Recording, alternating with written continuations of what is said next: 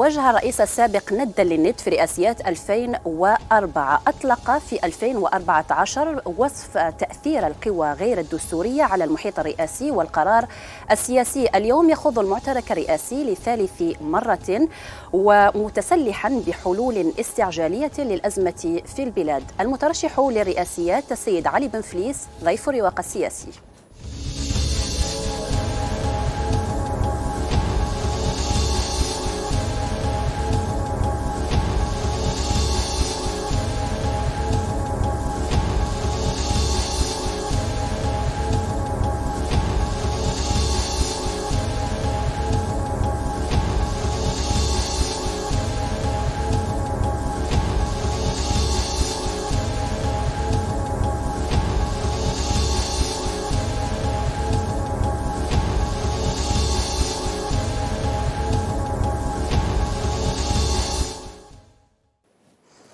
بك سيد علي بن فليس وشكرا لك على تلبية الدعوة. أهلا وسهلا تحية لك وتحية للمشاهدين والمشاهدات والمستمعين والمستمعات.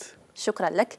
اولا نبدأ سيد علي بن فليس بالمناظرة التي أقيمت ونظمت من طرف السلطة الوطنية المستقلة للانتخابات، ما تقييمك للمناظرة التلفزيونية كأول مرة في التاريخ السياسي للبلاد؟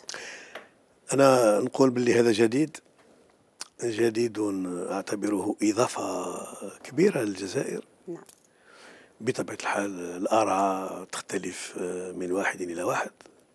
لكن لأول مرة يشاهد المشاهدون الجزائريون وحتى الأجانب مشهدا. يبين بأن الجزائر قادرة على على أشياء كثيرة جميلة. فيه اللي يعلق يقول ربما كاين أحسن منها بطبيعة الحال كاين أحسن منها. لكن هذا جديد وأنا أثمنه وأحيي السلطة الوطنية. التي بادرت بهذا الشيء تطبيق بطبيعة الحال القانون الأساسي نتاعها وأعطت لنا المناظرة فرصة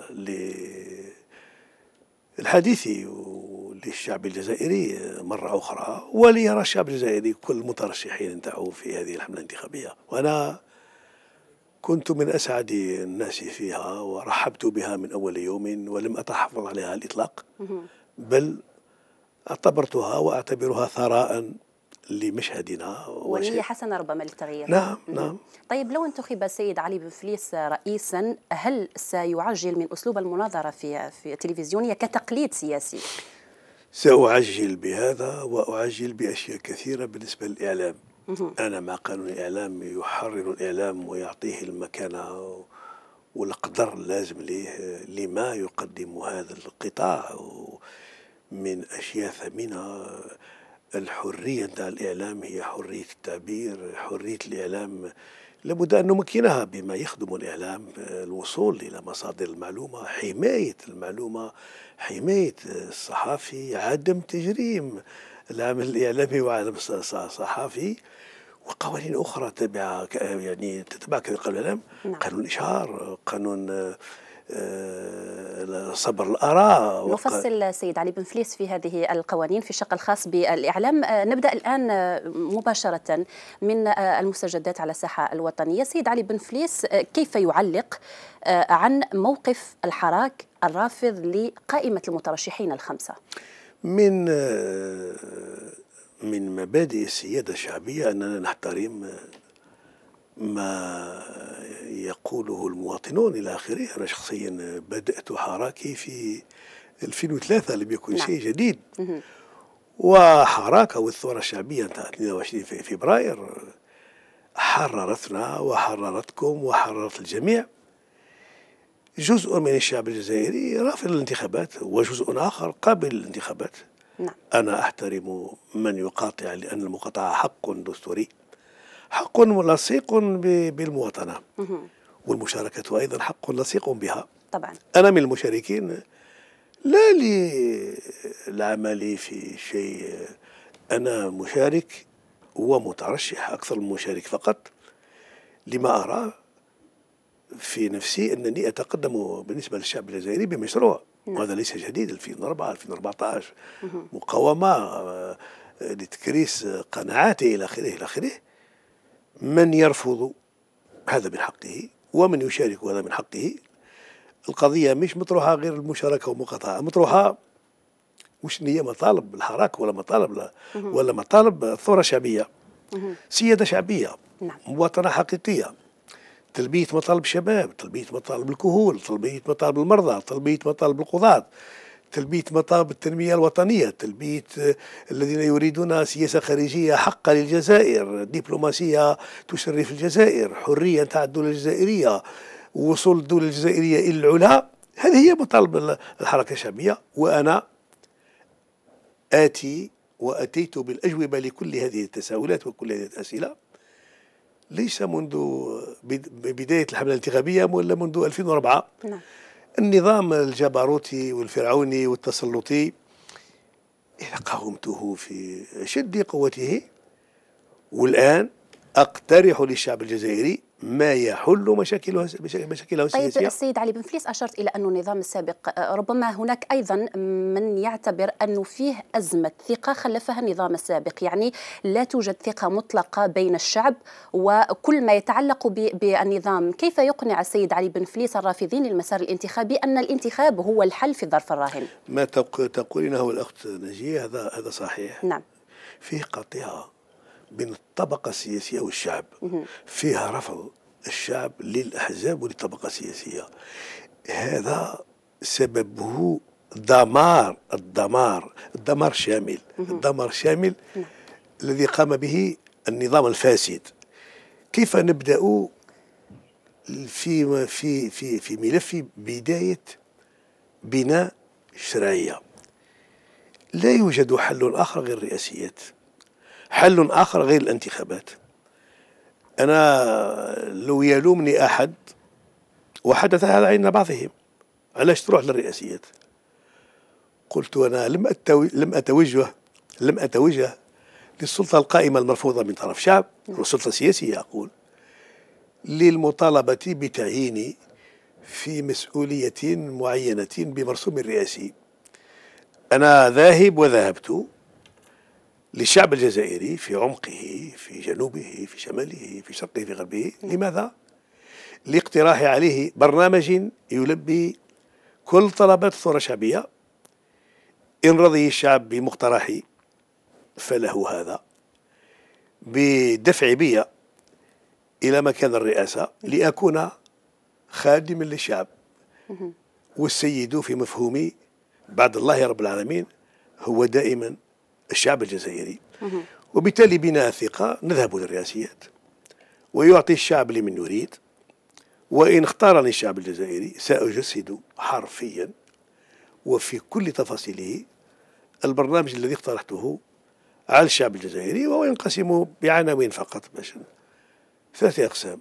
أنا لما كتبت البرنامج وكتبته بيدي. قلت هل من الممكن إصلاح كل شيء في السياسة في الاقتصاد في الاجتماعي. في, في سنوات قليلة. قلت ليس بالممكن وبالتالي لدي من تجربة ولدي من القناعة ولدي من دراية. ما يكفيني للوصول إلى عرض هذا الحل؟ ما هو الاستعجال السياسي؟ نعم. ما هو الاستعجال الاقتصادي؟ ما هو الاستعجال الاجتماعي؟ نحقق الاستعجالات. بهذه الاستعجالات المحققة عندما تتحقق نكون قد قضينا وأنهينا الأزمة في مستعجلاتها ويأتي فيما بعد الباقي لأن بالتدرج. البناء تدرج البناء محطات نعم. ومن يقول أنه بإمكانه أن يحل كل شيء في عشرة أيام وأن يجيب الشعب الجزائري حول كل مطالبه أنا آت لحل كل المشاكل وفي وقت قصير أنا لست في هذا الموقع ولست في هذا التصور. أنا صادق مع الشعب الجزائري صادق في أجوبتي معك الآن وأنت تسألين وأنا أجيب. وبالتالي عهدة الاستعجال الوطني. نعم. كلها كعهدة الاستعجال الوطني. نقضي على ما يمكن القضاء عليه من الأشياء التي لا بد ان نبعدها ونبني النظام السياسي في مستعجلته والنظام الاقتصادي في مستعجلته والاجتماعي في مستعجلاته هكذا أرى التصور. طيب السيد علي بن فليس آه، أنتم من المعارضة منذ سنة 2003 لكن هناك من لا زال يعتبركم أنكم من المحسوبين على النظام السابق وحتى ذهبوا إلى أنكم مرشح النظام. كيف ترد؟ شكرا على السؤال لأنه وجيه أنا حياتي السياسية كلها دامت ست سنين ونص بالتقريب. وزارة العدل رئاسة الحكومة نعم. مدير الديوان في رئاسة الجمهورية. كي تحسبي تلقاها ست سنين نقولي سبع سنين معليش وأنا معارض منذ 2003 معناها منذ 16 و 17 سنة. اللي حب يقول أنت من النظام إذا كان خدمة الدولة الجزائرية أنا لا أنفي أنني كنت خادما لها كقاضي وكنائب عام. وخادم كذلك في إطار الدولة الجزائرية كمحامي كنقيب محامين وخادم للشعب الجزائري في دولته كوزير عدل لمدة سنتين ونصف. وخادم للشعب الجزائري كرئيس حكومة في حكومتين والكل دام قرابة ثلاث سنوات بالنسبة لرئاسة الحكومة. نعم. إذا كان يحسبوا لي الخدمة اللي خدمتها في الدولة ست سنين ونص. يفتشوا كشي ما درت مفسدات في العمل تاعي مستعد نجاوب عليها. نعم. إذا كانوا يحبوا ما يعترفوا ليش؟ ب 16 سنه في المعارضة من حقهم من باب حرية التعبير ليس إلا. نعم. ذوك أنت في النظام بالسيف عليك. أنا كنت في النظام كنت خدمت الدولة الجزائرية. ما جيت شديت خمسين ألف قطار تاع الجزائر وملكتها لنفسي. ولادي يقراو في المدرسة الجزائرية زوجتي صيدلية راهي متقاعدة. نعم. لما كنت رئيس حكومة كنت لازمت السكن في بيتي. وما سكنت لا محميه ولا قصر من القصور تاع الدولة. دوك إذا كان من باب إلصاق التهم بالجور والزور والظلم أنت نتاع النظام. النظام فيه الصلاح وفيه الطلح. صنفوني كما تشاءون.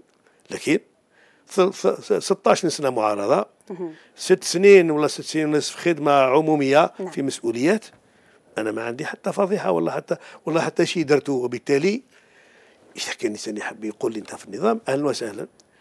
مع الرئيس بوتفليقة ترجاني وهو مترشح وكنت مدير حملته الانتخابية وكتبت بنفسي البرنامج السياسي. يتكلم عن فصل السلطات يتكلم عن حقوق الإنسان نعم. يتكلم عن المساواة بين الرجل والمرأة يتكون عن إصلاح اقتصادي حقيقي يتكون يتكلم عن عدالة مستقلة يتكلم عن حرية إعلام يتكلم عن دبلوماسية تعيد للجزائر هيبتها. لما أحسست ورأيت بأم عيني أننا في انطلاقا من صيف 2003 ستذهب الجزائر إلى ما لا تحمد عقباه. اختلفت مع الرئيس ولم أقبل أن أمرر معه قانون المحروقات ولم يقع تمريره في عهدي. ومرر بعد ذهابي. لما رفض استقلالية القضاء برفضه النصوص التي قدمتها كرئيس حكومة جدولتها في مجلس الوزراء ثم تنحيتها من جدول من من من, من مجلس الوزراء من الجدولة؟ نعم. لكونه كان يقول أنا الآمر للقضاة لإصدار الأحكام القضائية كما يطيب لي وكما يحلو لي. قلت هذا مش ممكن. اختلفنا حول هذا النقطة. وخلاف ثالث وهو الأساسي كذلك حول الحوكمة أو الحكامة كما تريدين. يريد نظاما سياسيا يرتكز على تجميع كل الصلاحيات. هو رجل سلطة نعم. وأنا رجل دولة. أنا أدافع عن حرية المؤسسات هو يدافع عن الشخصنة الحكم. هكذا أقدم نفسي ولك ولكل المتفرجين والمستمعين واسع النظر في تقييمي وتقديري ما أجبت به أمامك الآن. طيب سيد علي بن فليس خلال التجمع بالوادي قلتم أن الحملة آه، نعم أن الانتخابات لن تكون مثالية لكنها مقبولة. ما هي المعطيات التي تدفعك لقول هذا الكلام؟ الانتخابات المثالية لابد من تأسيس وبناء لها يتطلب عدد من السنين. نعم. نحن كنا في نظام شمولي ديكتاتوري في هيمنة رئاسية إلى آخره. الانتخابات كانت تسير أفقيا بالشمولية إدارة مؤسسات عمومية نعم. مال عام الحاكم يفعل بالانتخابات ما يشاء. هكذا كانت والخاص والعام يعرف هذا وأنت تعرف ربما أكثر من غيرك هذا بحكم المهنة اللي راكي فيها. والجزائر تعيش أزمة. والأزمة هذه جرى من أجلها باش اللي يفكي الصعاب فيها حوار. بذل المحاورون ما بذلوا من مجهودات قيمة واسعة هائلة للوصول بالجزائر إلى استبدال قوانين بقوانين أخرى قانون السلطة قانون الانتخابات. الأساسيات موجودة. التطبيق يتم نهار 12 إلى يومنا هذا نقول باللي شروط مقبولة تسمح بانتخابات مقبولة. أن تكون مثالية. ما الذي ينقص لتكون مثالية؟ ينقص اولا اولا دعم أكثر للسلطة للسلطه للسلطه تنظم الانتخابات. نعم. وقانون أوسع كذلك بالنسبة لقانون الانتخابات. ثم جو عام يسمح بشروط ظروف سياسية ظروف دستورية ظروف يعني تعهد. مجتمع مضطرب يكون غير صادق. نعم. لا قلت راح تكون في في شروط مثالية. انتخاباتنا مش راح تكون كما تاع إنجلترا. بصح مش راح تكون كما كانت في السابق. وبالتالي بالتدرج سنصل إلى مخرج ولا حل. وأسأل نفسي أمام الشعب الجزائري هل بالإمكان إيجاد حل آخر غير الرئاسيات؟ أنا اقتنعت باللي بدون الذهاب إلى الرئاسيات لا مخرج للجزائر. وبالتالي في قرار تنسي خذيت هذا القرار وهو تحمل مسؤولية ثقيلة. من تحملوا مسؤولية الحوار لهم الشكر ولهم الفضل لأنهم قبلوا بمسؤولية صعبة. نعم. ومن تحملوا أن يكونوا في السلطه المستقله هم كذلك من الأوفياء للجزائر وهم كذلك من الذين ضحوا بأشياء كثيرة من أجل المساعدة على الذهاب إلى الرئاسيات. ومن تحمل المسؤولية للذهاب إلى الرئاسيات في هذه الظروف كذلك تحمل مسؤولية ثقيلة أنا أتكلم عن نفسي. نعم. أعطي للجزائر. إن مكنني الشعب السيد بذلك وإن أقر الشعب الجزائري أن أكون خادما للشعب الجزائري ويبقى السيد دائما هو شعب. إن أراد الشعب بي أن أكون خادمه سأحقق الطموحات نتاعي اللي هي طموحات الشعب الجزائري. لا غرض لي. ولا حلم لي. ولا طموح لي. لا في ربح المال. ولا في ربح المسؤوليات ولا الجاه. طموحي هو أن أرى الإعلام الجزائري في القمة العالية من من المثالية ومن المصداقية ومن القدرة. طموحي هو أن أرى الاقتصاد الجزائري كذلك اقتصاد حر يخلق الثروة يوفر المناخ نتاع الأعمال يعطي الإمكانيات يفتح المبادرات ويتم التوزيع نتاع الثروه الوطنية بالعدل على الشعب الجزائري. طموحي نعم. هو أن أرى الطبقات الاجتماعية في الجزائر منسجمة وقابلة وراضية بوضع اجتماعي واقتصادي وسياسي يحلو العيش فيه وهذا ما أتمناه دأب التقليد السياسي في الجزائر على وجود مرشح الإجماع يعني آه، ليس له غطاء سياسي معلن. هل باشرتم اتصالات مع باقي الأحزاب لدعمكم في الاستحقاق الرئاسي؟ هل كان لكم اتصال مع حزب معين ربما للإبقاء على هذا التقليد؟ شوفي أنا بالنسبة لي كمعارض منذ 2003 أنا شريك في مزافران أولى. نعم. شريك في مزافران ثانية. نعم. شريك في أرضية عين بنيان. هذا تلقي سقف المطالب في هذه الوثائق الثلاث. لما جت الرئاسيات وقع اختلاف نعم. بين الطبقة السياسية في من يرى باللي الرئاسيات هي الحل والحل الحل الأوحد وأنا من هؤلاء. فيه من يرى يرى خلاف ذلك وأقدرهم كل التقدير وعلاقاتي لا زالت وستظل وستبقى طيبة مع الجميع. لكن لما نقول باللي ما كانش مخرج بدون الرئاسيات أنا عارف كذلك ب أنا كشخصية وطنية مترشح الرئاسيات فيه من يشاركوني في الرأي بأن لا مخرج إلا بالرئاسيات. في خمسة ولا ست على الأصح ست أحزاب. نعم. كانت في مزفره عفوا كانت في عين بنيان. نعم. وساندتني. وفيه كذلك من المجتمع المدني كثر من الناس من الناس من مثقفين إلى آخره في التيارات السياسية كلها كأفراد وكشخصيات. تساندني. نقول أنا مرشح الإجماع أنا ما عنديش هذا الغرور. والله هذا التصور لكن فيه دعم من أحزاب لا معينة؟ نعم فيه ست أحزاب معروفة في الساحة. طيب ماذا عن الأفلان السيد علي بن فليس؟ هناك حديث على أنكم الأفلان أنا كنت أمين عام في الأفلان. طبعا. وأنا الفترة اللي مريت بها في الأفلان دامت من 2001 حتى 2004 نعم. في العهد نتاعي كما كنت أمين عام الافلان أنا شببت الأفلان. وجعلت منه حزب يسير بديمقراطية داخلية. وكم من مئات وكم من آلاف من الشباب المثقف من النساء ومن الرجال دفعت بهم بل دفعتهم إلى الترشح للبلديات إلى الترشح لمجالس الولاية نعم. إلى الترشح للبرلمان. هؤلاء جلهم أو أغلبية 80% منهم مساندين إلي لكن هذا لا يعرف عند الرأي العام. علاش؟ بحكم نظام مازال بأساليب قديمة. هؤلاء يساندونني. لماذا؟ وهم كلهم أفلي أفلانيون الآن. ردا للجميل؟ ردا للجميل اعترافا بشيء. مؤمنين بما يرون في أنني صادق معهم. نعم. ويعرفونني أني لا طموح لي ما عنديش الطموح نتاع الغرور. ما عنديش الطموح نتاع كسب شيء نعم. ما أتمناه وما أسعى من أجله هو أن ينال الشباب الجزائري في كل المواقع التي يوجد فيها وهو شباب هائل له من القدرات ما توجدتش في الماضي. وبالتالي كي تقول لي ما هو وضع لا فلان لا فلان يتخبط في مشاكله الداخلية. لكن قواعده تحدثت هنا عن دعم الأفلان لكم. يعني في حديث ان الأفلان يدعم يدعمكم أنا رسميا. أنا لم أطلب دعم رسمي من الأفلان على الإطلاق. وهم لم يعلنوا دعمهم لكم؟ ما إلى الآن ما كانش دعم. حسب ما تصور لكن طيب. أنا أعرف أن الأفلان فيه ما يوجد في عدد من الأحزاب. فيه قاعدة نقية نظيفة واسعة نعم. تتمنى الجديد بالنسبة للأفلان وفيه من من أفسد الأفلان وأضر به شعبيا ووطنيا أمام الناس. نعم. أنا ما نطلبش دعم هذا.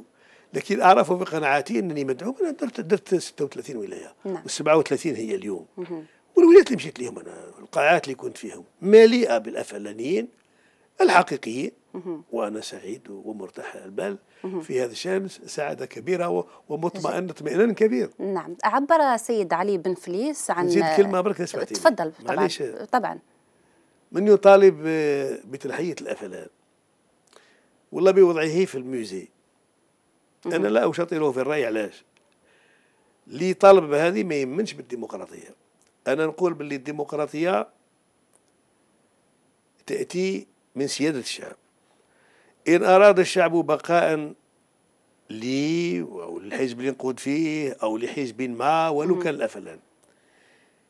لكن بغى الإبقاء والبقاء يرد الحكم للشعب في الانتخابات الشعب يقرر باش يحب ربما السيد علي بن فليس هنا لا أدافع عن أحد ولكن ربما من يطالب بهذا الشيء؟ كما ذكرنا قبل قليل هو الارتباط بعض الأحزاب السياسية ربما بالنظام السابق.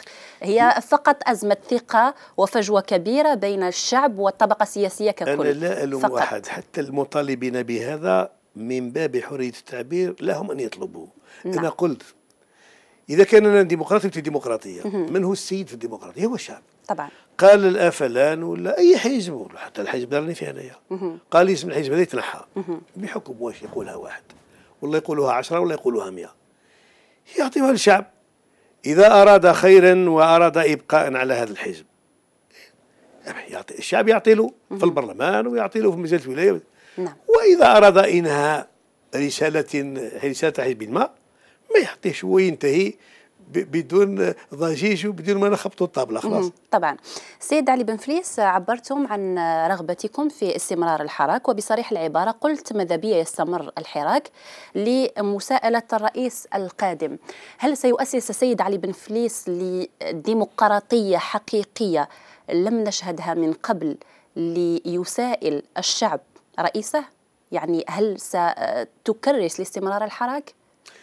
أنا ما مش راح نكتبها في وثيقة لكن أنا السياده الشعبية أنا أنا, أنا ذهب للعمق نجيه نعم. ذهب للعمق. الشعب راهو في الشارع علاش؟ لأن الحلول ما بغتش تجي من المؤسسات. لما غدوه يخرج رئيس منتخب يخرج برلمان منتخب تخرج بلديات منتخبة حقا نعم. تخرج مجالس ولائية منتخبة حقا. جل النقاش الديبا راح يكون في المؤسسات والشعب يظهر له أن يخرج خرجة في كل قطر قال يا رئيس بلغنا بكذا ولا حسب الرئيس. أنا بالنسبة لي السيادة الشعبية تمارس يوميا من طرف الشعب. ويغير الأغلبيات ويغير ثقته في من يشاء. وبالتالي قال كيف نمنع الحراك؟ أنا موش في برنامجي هذا على الإطلاق. بالعكس أنا قلت السيادة الشعبية أؤمن بها. ولولا هذا الحراك لما كنت جالسا أمامك الآن في مؤسسة عمومية هاني هنايا. وبالتالي أن يحاسبني الشعب وأنا إن أراد أن أكون ولي أمره. quoi de plus normal هذا طبيعي جدا. نعم. وبالتالي يستمر الحراك. لا حرج لي ولا قلقة لي على الإطلاق. بالنسبة لي الشعب يمارس سيادته كما يحلو له. في كنف الاحترام في كنف الاستماع. يعني ستسمح بمواصلة الحراك نعم بعد نعم. توليك الرئاسة؟ ما ربما ما آه، بقي مسجل هو أنك لما كنت رئيس حكومة في 2001 آه، كنت آه، وافقت على توقيف تظاهر السيد علي بن فليس اسمعي لي مليح برك حتى الرسالة نتاعي تصل. 14 جوان 2001 نعم. أنا كنت على رأس الحكومة الجزائرية. كنا في حالة l'état d'urgence آنذاك معناها حكومتي. من يوم ولادتها إلى يوم ذهابها نعم. كانت في حالة l'état d'urgence في هذا الوضع الدستوري الصلاحيات نتاع البوليس ونتاع الأمن مش بيد رئيس الحكومة بيد المؤسسات الأمنية.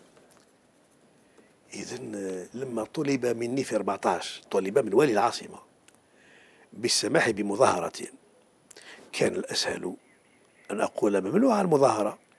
إحنا في ليتا ديرجونس نعم. والصلاحيات ماهيش في رئيس الحكومة. فماذا فعلت؟ الوالي نتاع العاصمة الذي تقدم به الطلب نتاع المظاهرة خبر وزير الداخلية. الذي أخبرني بهذا الطلب. وش درت؟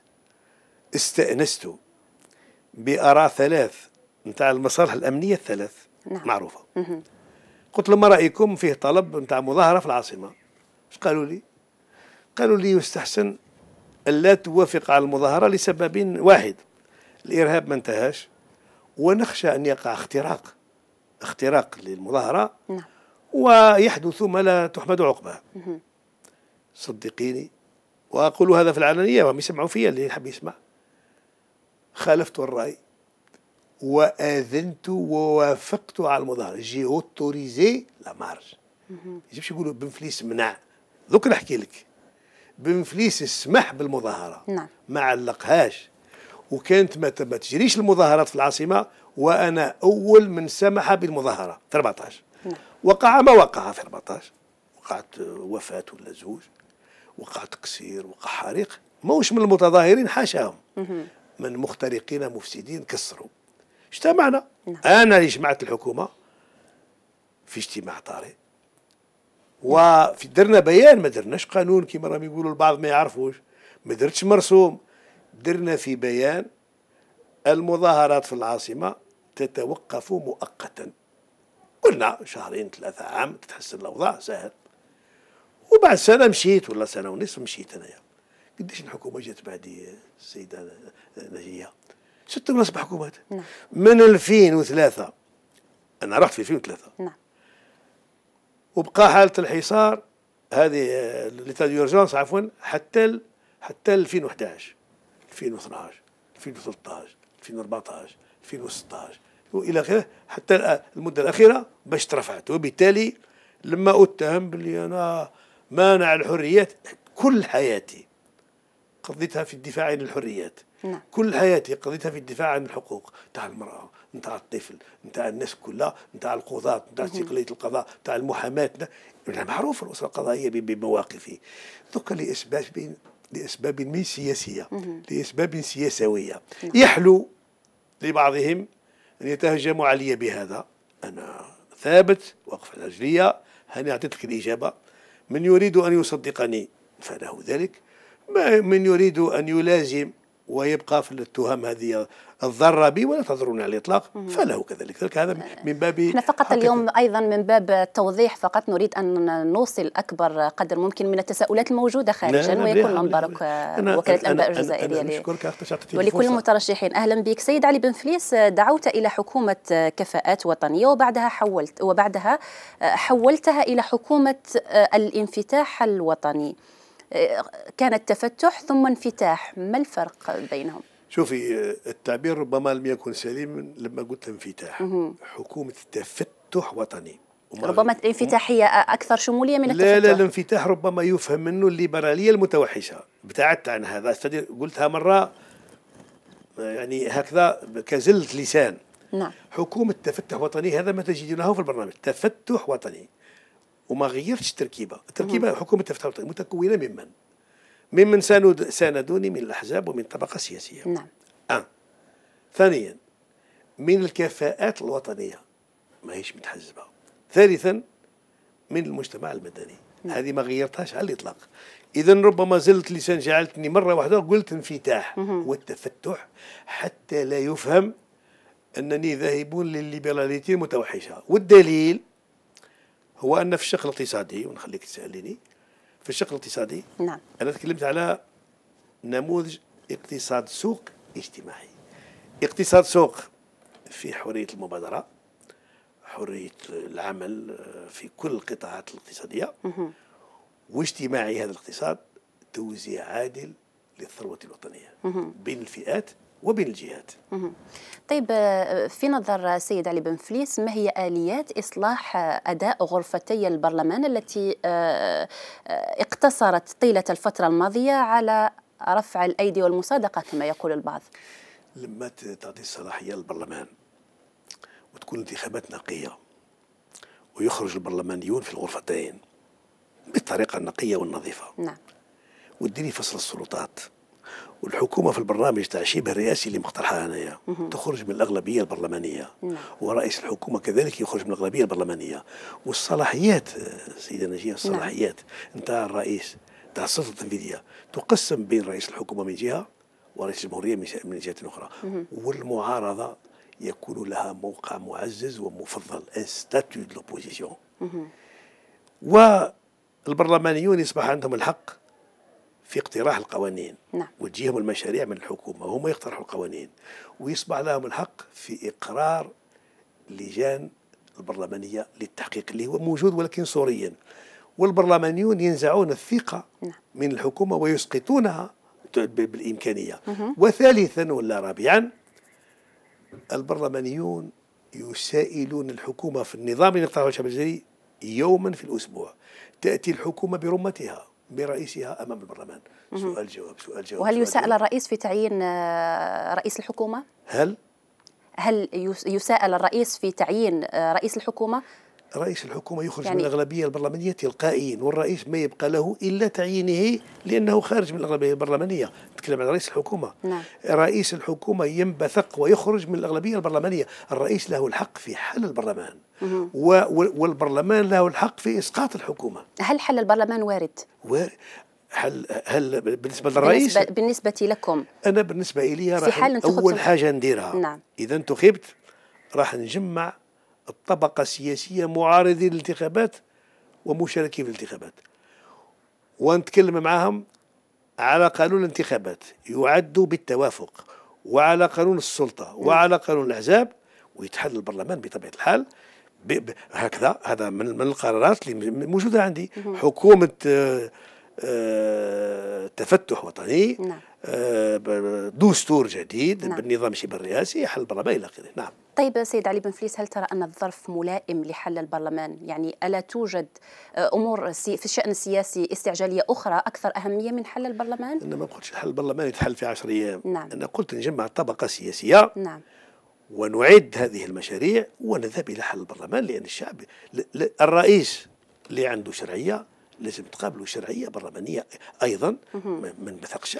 أنا مانيش فاتح خصومة مع نايب ولا مع م... ولا مع مؤسسة. أنا ماشي لإصلاح نظام سياسي والإتيان بالجديد والجديد. لا يمكن الإتيان به إلا بالأساليب الجديدة وبالعمل الجديد. طيب كيف ستؤسس لبرلمان يعني لأن يكون البرلمان الجديد ليس كالبرلمان كالبرلمانات السابقة؟ راح نعدل قانون الانتخابات بما يخدم أكثر المصداقية تاع الانتخابات. نعم.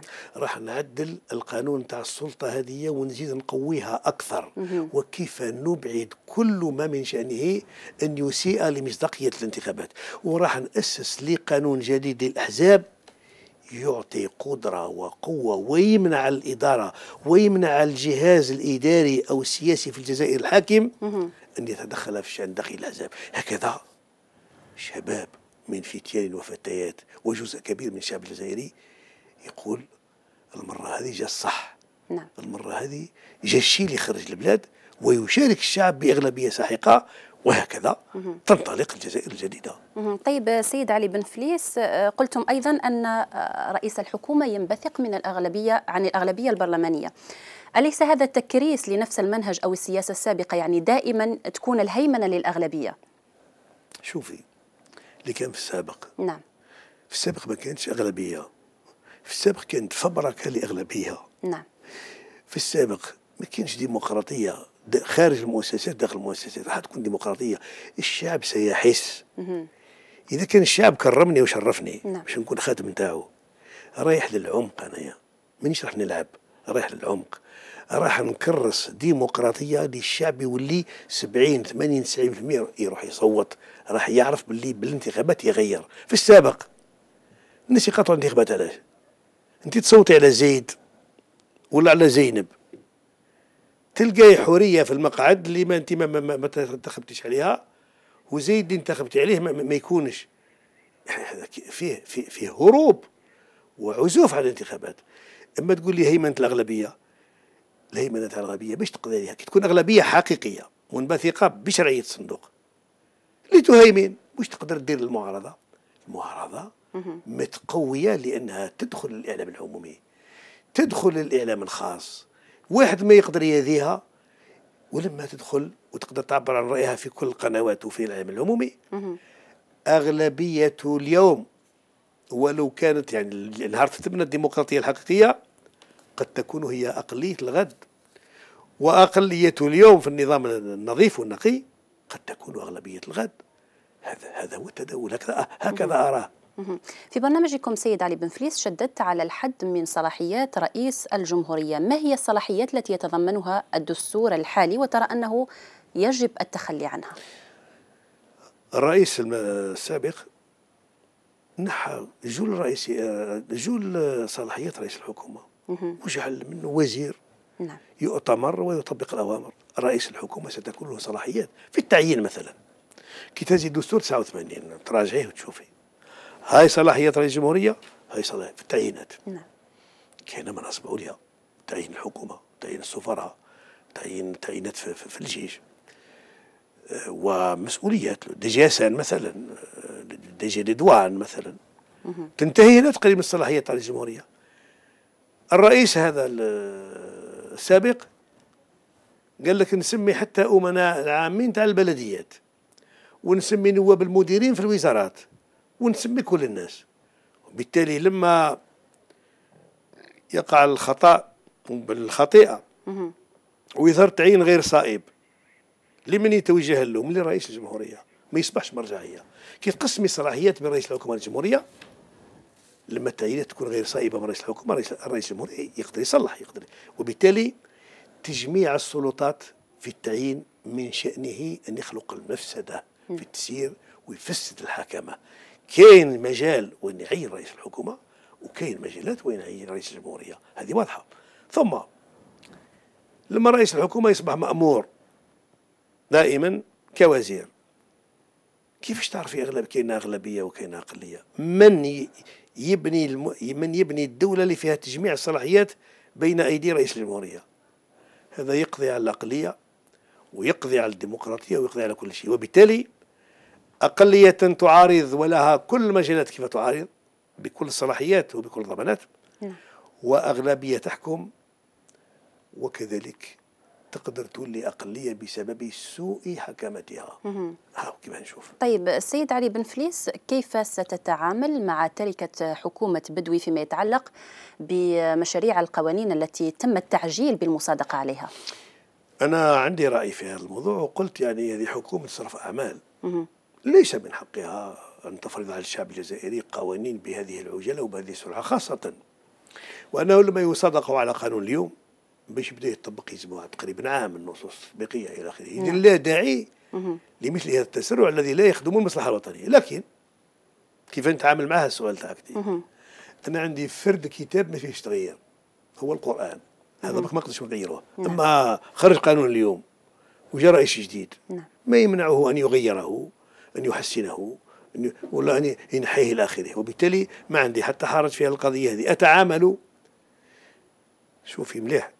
التعامل مع هذه الوضعيات لازم ديما الإنسان يتعامل كرجل دولة.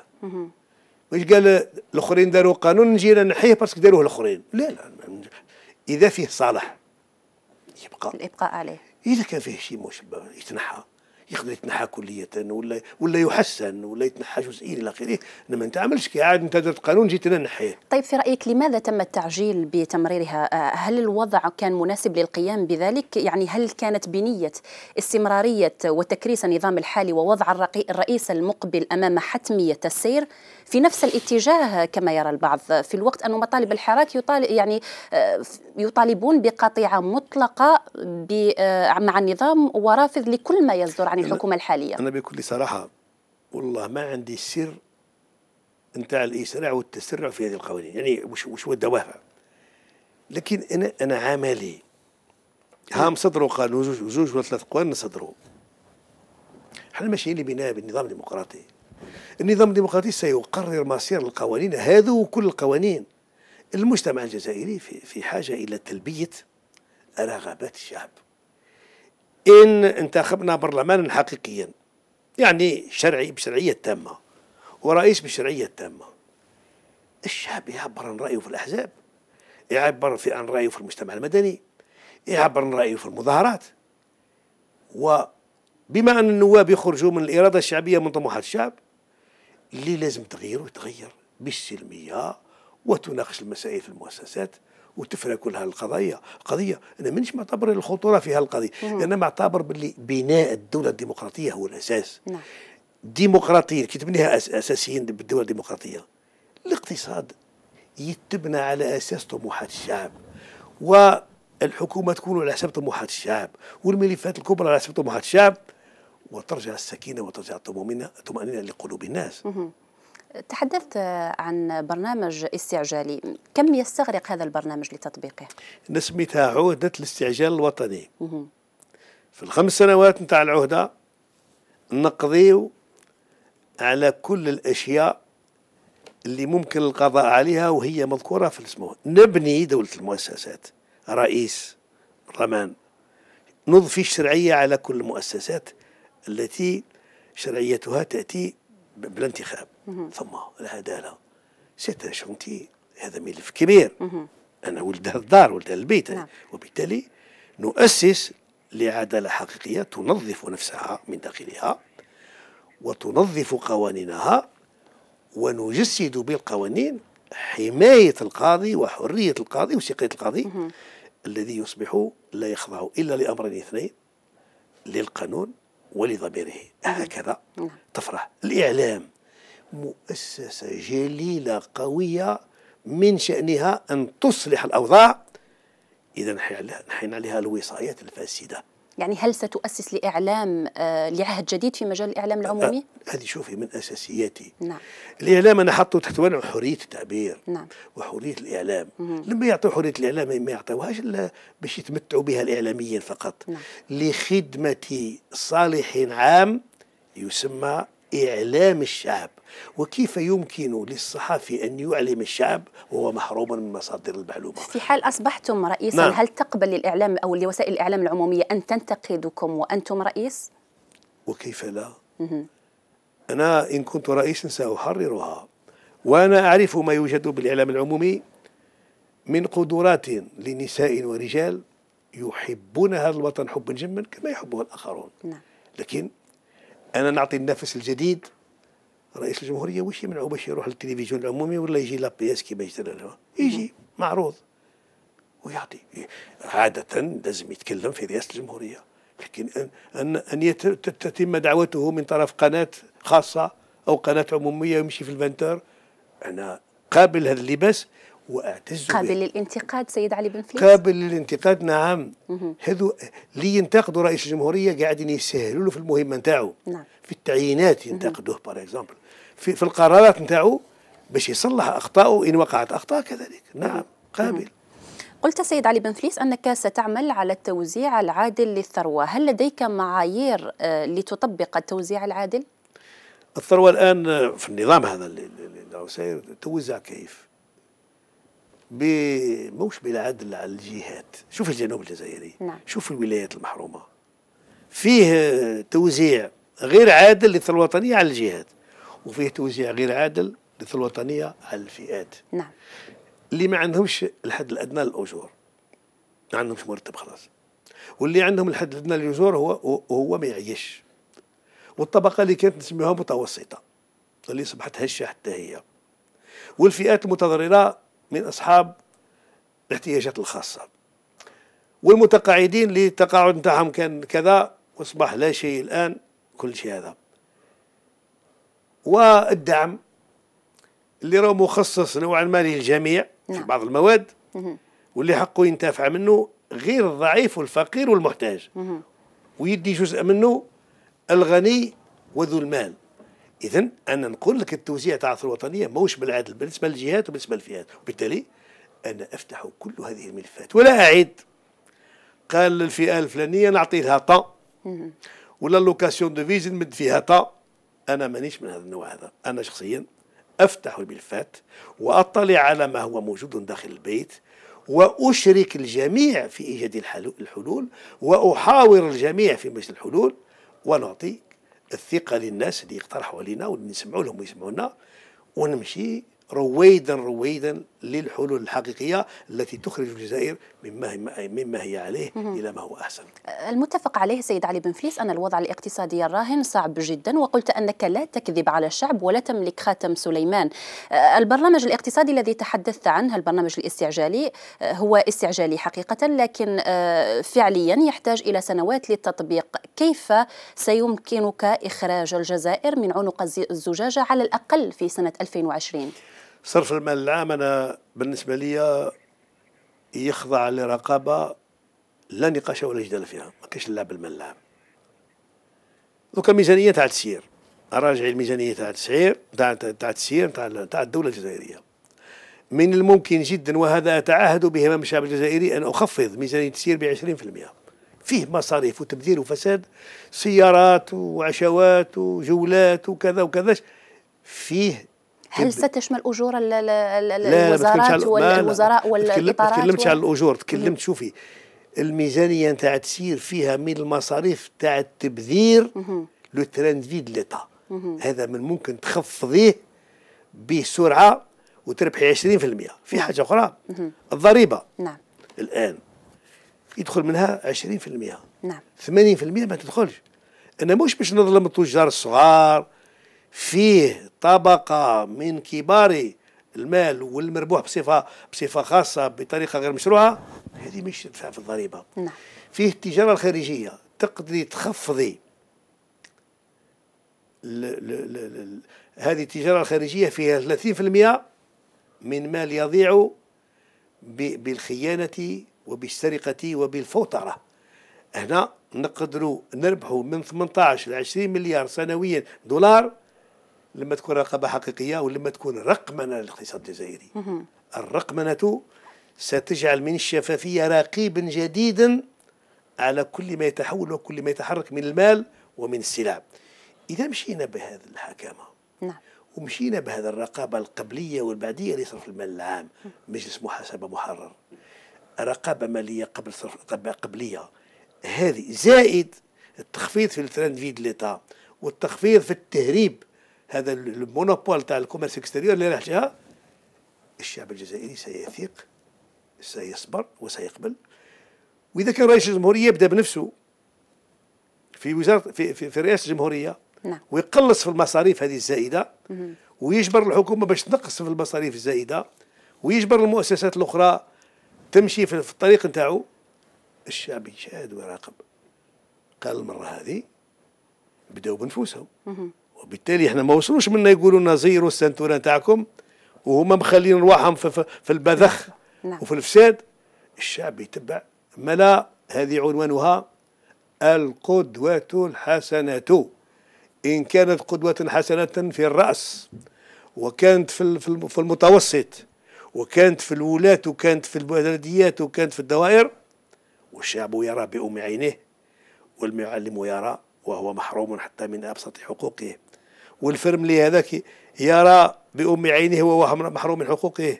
والمواطن العادي يشوف والمرأة الماكثة في البيت. واسمعي هذا؟ ألا تعمل 10 أو 12 ساعة في النهار؟ مقارنة بالمرأة اللي راهي تشتغل وهي قلة. بالنسبة للمرأة المثقفة نعم. أنا نقول لابد من منحة للمرأة الماكثة في البيت لأنها يتسال المرأة هذه الماكثة في البيت. تسال في البترول وتسال في الغاز وتصرف الثروات الوطنية. ما والو منها وبالتالي أنا نقول تكون علاوة للمرأة الماكثة في البيت. هكذا يكتمل العدل داخل المجتمع. الكسور les fractures de la société وال... والناس الغاضبين والكارهين والهاربين في الحرقة من وطنهم. والمعلمين والأساتذة المحرومين من حقوقهم والأطباء. اللي هما محرومين. هذو كله يشوفوا باللي كاين الجديد. الجديد ويجمع ولا يفرق ويقرب المحبة بين الناس بين الناس بين بين الذكور بين بين الرجال والنساء بين الكبار والصغار وبين كل المجتمع وبين الفئات. كي نشوف أنايا مقاومين ونشوف جارد كومينو ونشوف متقاعدي الجيش ونشوف المتقاعدين بصفة عامة والتقاعد نتاعهم ضئيل ولا لا نأخذوا بعين الاعتبار المصالح نتاعهم هذا يجيب الكسور ويجيب ويجيب القنوط ويجيب ويجيب الكراهية بالناس وبالتالي هذه كلها لما تحل الملفات بصدق وصداقة ومحبة ترجع طمأنينة لقلوب الناس. إن شاء الله تحل كل كل المشاكل. سيد علي بن فليس آه، ننتقل إلى ملف ربما هو محبب إليك وهو آه، العدالة. آه، تجرى جرت منذ أيام أو حاليا لا زالت تجرى محاكمات وصفت بالتاريخية. هل يضمن السيد علي بن فليس الرئيس استمرار هذا المسار؟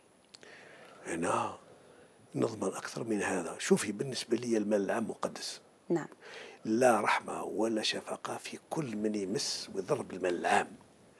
أنا ما نشوفش رئيس الجمهورية يلقى أحكام قضائية صادرة وأصبحت نهائية ويجي يقول بعنوان العفو الرئاسي يعفو عن عن من أفسدوا الحرث والنسلة. حق هذا حق العفو لاصق برئيس الجمهورية. بصح ما يكونش درجة ثالثة في التقاضي. نعم. حق الإعفاء هذايا العفو اللي مربوط بلاصق برئيس الجمهورية مش درجة ثالثة في التقاضي لكسر الأحكام القضائية. من يمس بالمال العام يعاقب بشدة ويرجع المال العام.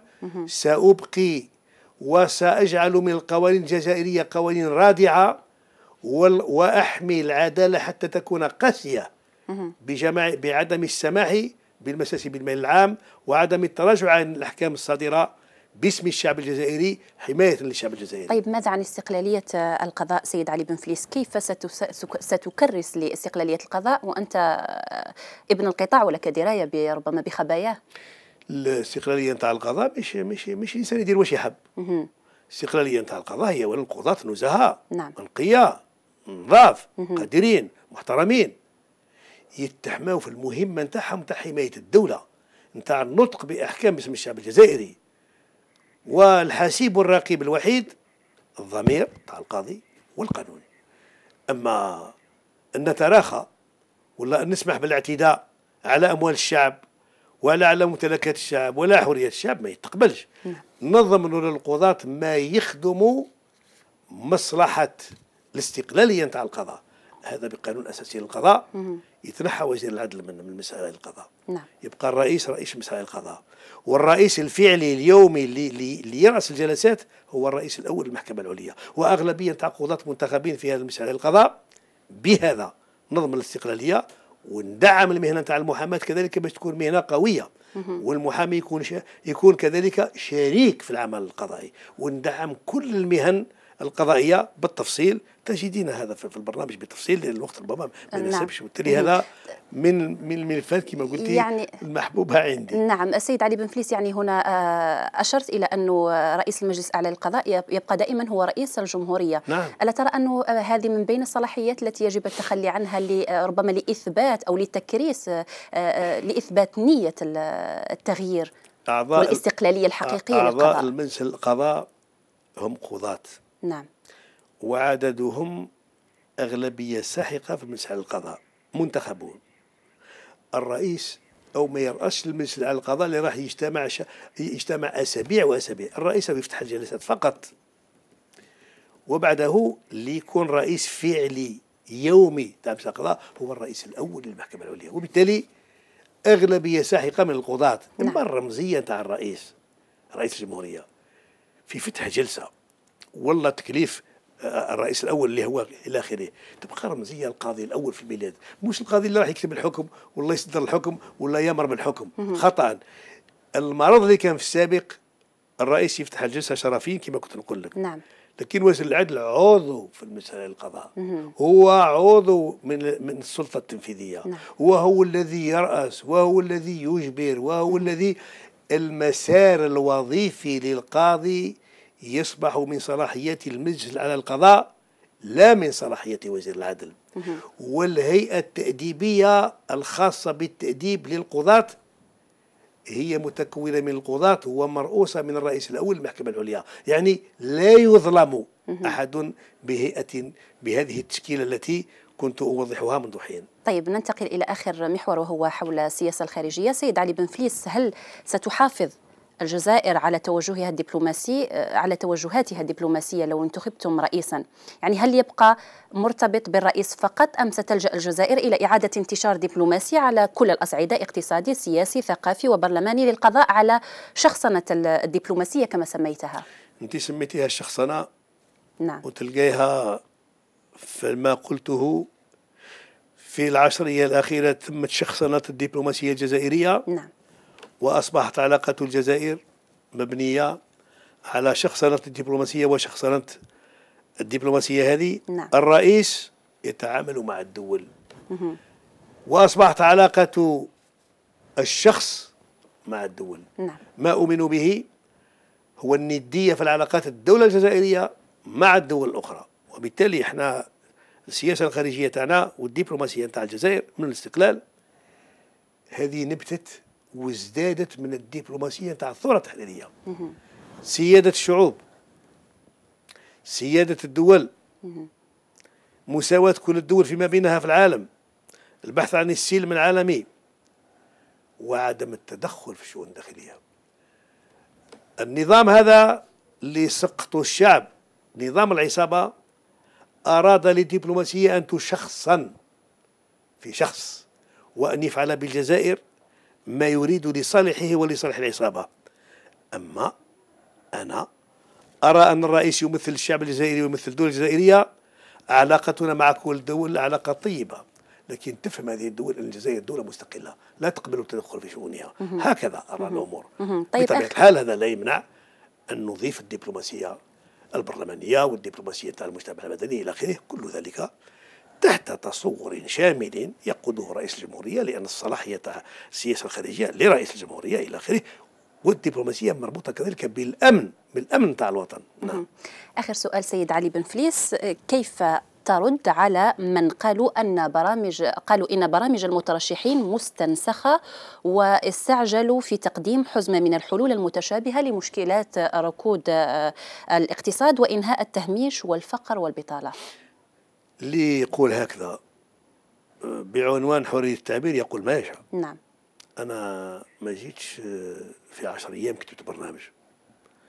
أنا شايف وضع جزائري مزري صعب سياسي نفس الشيء بالنسبة للاقتصاد نفس الشيء بالنسبة أنا قريت كل البرامج قراين تاعي فيه تصورات نعم. فيه مقترحات حلول أنا ما قلتش في عشر أيام كل شيء فرع عمري ما قلتها لا بالصوت نتاعي ولا في الشيء المكتوب نتاعي. أنا قلت كاينة أزمة قائمه صعبه وخطيرة نعم. وتقدر تهز بكيان الدولة. بصح كاين شيء آخر.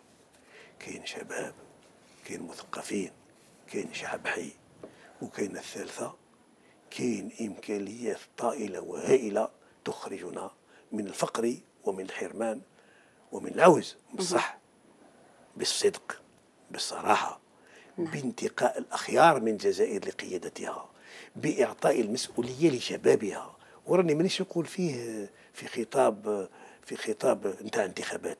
راني نقول لك يوجد لدى الشباب الجزائري هذا المثقف بجميع العناوين أعطيه المسؤولية. ومن الأشياء الأولى اللي نديرها في قانون الانتخابات. وقلص نقص من العمر باش الإنسان يكون عضو في البلدية ولا في المجلس الولائي ولا في المجلس الشعبي الوطني ولا حتى كرئيس الجمهورية. هذو اللي قال لك لازم تستنى العمر الفلاني باش ترجع. هذه نعم. كل نقصها. نقص فيها باش نعطي فرصة للشباب والشباب له الآن الشباب نتاع اليوم. ما نحقرش أنا الشباب تاع بداية الاستقلال تاع جيلي. لكن الشباب نتاع اليوم راهو بالدكتورات. نعم. راهو ب les masters. فيه كفاءات. راه فيه كفاءات هائلة وفي نعم. كل pas. وبالتالي عليه نبعدهم بحكم السن. نقص في الأعمار. عامين ثلاثة في كل في كل شرط اللي راهو مشروط. حتى يجي زحف كبير نتاع شباب ويحلوا المشاكل تاع الجزائر. شكرا جزيلا لك سيد علي بن فليس نختم معك بسؤال حول كتابة مذكرات في المسار السياسي. هل السيد علي بن فليس أو لك نية في في ذلك؟ نعم أنا كاين شيء كتبته بعد وراه مدون ومخبي ما يتنشرش قابل للنشر؟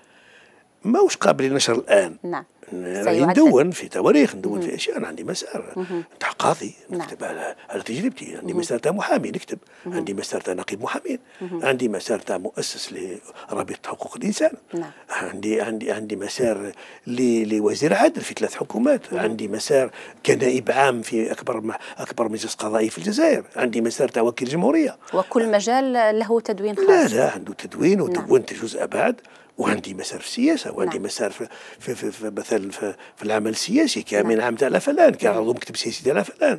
وأنا شفت عدالة الليل وشفت المظالم. نعم. وننبه الجيل الجاي على المظالم. وأنا عندي مسار كرئيس حكومة. التجربة هذه تاع كل نشرحها. يستفيد منها اللي يحب يستفيد ويقرأها.